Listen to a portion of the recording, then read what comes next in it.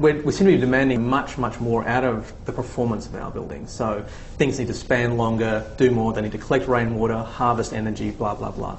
So we're putting all this pressure on structure. How does that fit with this kind of idea of uh, a purity of expression when we're demanding so much more from all of these systems? Well, I think it means economy, for one thing.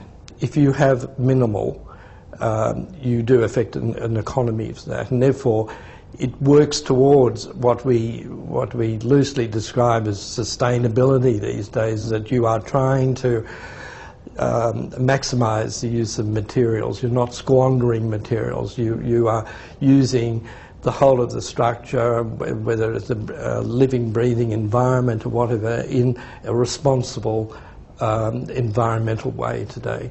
All the pressures of trying to reduce energy, trying to reuse the water, trying to minimise the structural content you know, not make the cladding more expensive than it has to be, but make the, the building breathe and work with its environment, you know, the best way. Actually, are all going in the same direction. Mm. I don't think that there are conflicts in there. I think it's, it's all one, one journey, one path. And actually, coming back to your earlier question, I think that's where the borrowing from nature and biomimicry movement is also coming from. Mm. There's a fundamental belief that nature's been at this game much longer than we have, you know, and has evolved and developed huge numbers of techniques and, and methods of being efficient and it's really beholden on us to actually look at nature and say, well, how can we be more efficient in, in man-made structures, utilising you know, what nature has developed? Given that that ambition requires a much more seamless integration of all the different coordinating services and consultants and lead designers and so on, how do you see that affecting practice then? Do you see a new practice evolving where the traditional disciplines tend to break down and become more of a,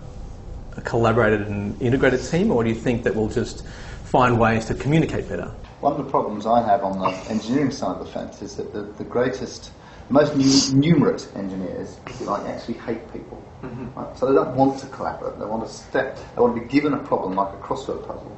You know, and go and solve that crossword puzzle. They don't want to ask other people for the answers. And I think on the other side of the fence, there's a, there's a, a, a branch of architecture that also don't want to be challenged into why they're producing what they're producing. They just want to say they're perhaps slightly lack self-confidence in you know, the form that they've come up with. And they certainly don't want to be challenged by some engineer saying, well, why are you trying to do that?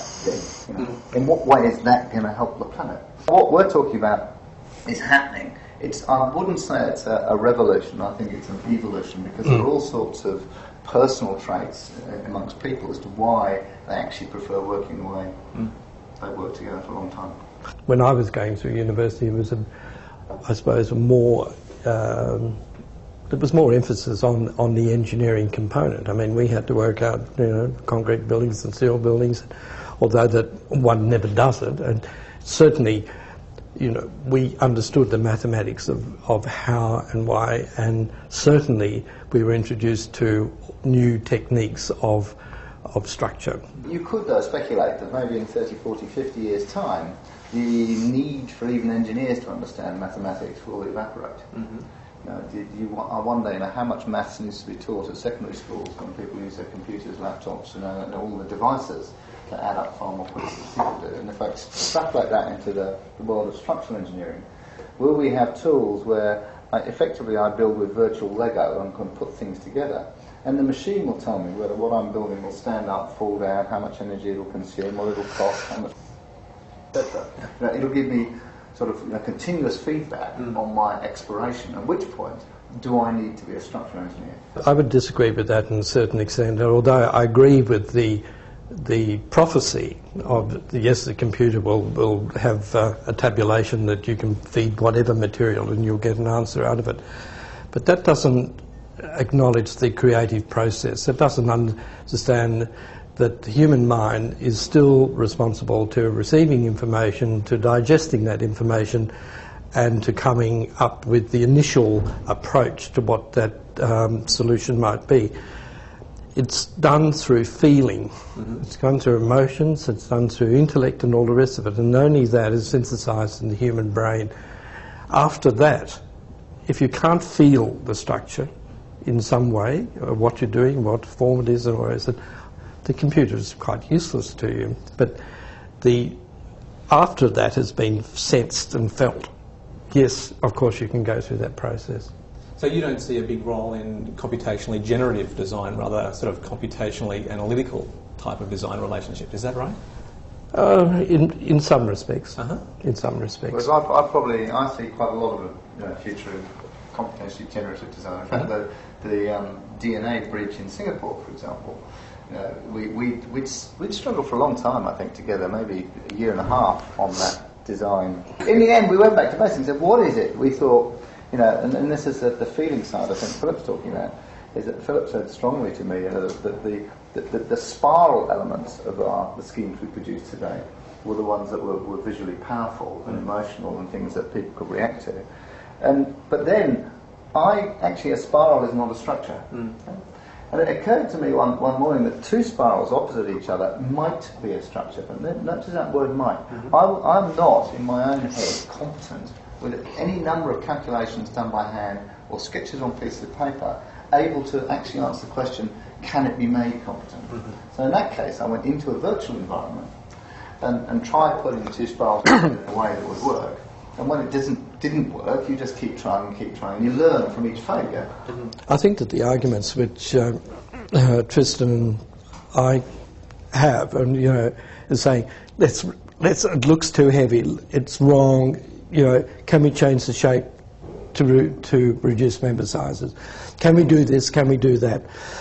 so it's a give and take between us and saying interpreting what they're doing and, and they interpreting what we're doing so we get uh, a synthesis between the two attitudes. Tristram Bridges are an engineer's mecca. Long span bridges, yeah, ultimately, if you're going to do a kilometre long uh, suspension bridge or cable stay bridge, then there are yeah, there aren't that many variations on a theme that will do it with reasonable economy. But when you come to you know, 100 metre spans, 200 metre spans, pedestrian footbridges, there are a wealth of possibilities. And again, hmm. the, the danger of an engineer working on their own is they'll go straight down the tried and tested. You know, we know this works, this will do the job. In the end, it's a functionality criteria, let's get on with it.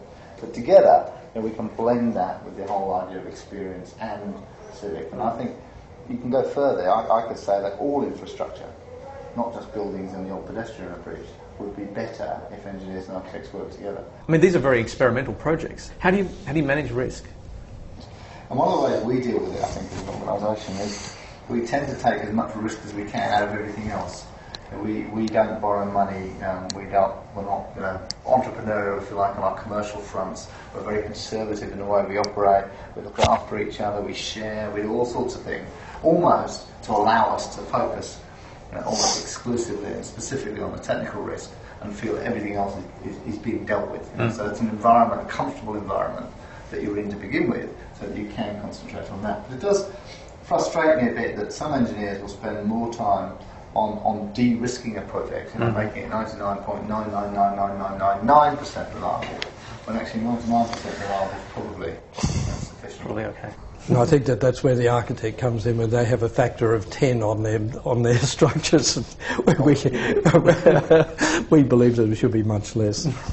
But again, that's where the virtual, coming back to the beginning of the conversation, it is where the virtual environment will change things. Mm. We can assess far more risk now than ever before, mm. and in the future that will develop you know, to a much greater extent. So I, hopefully, you know, the virtual environment, the ability to do performance assessments on the fly, this thing that I was talking about earlier for 40 or 50 years hence, mm. that will allow us all to be far more creative. Mm. Although there is an issue, I think, as Philip's saying, is to what extent does a digital virtual world get connected to your gut, your heart, and your emotions, mm. or to what extent is it an intellectual exercise?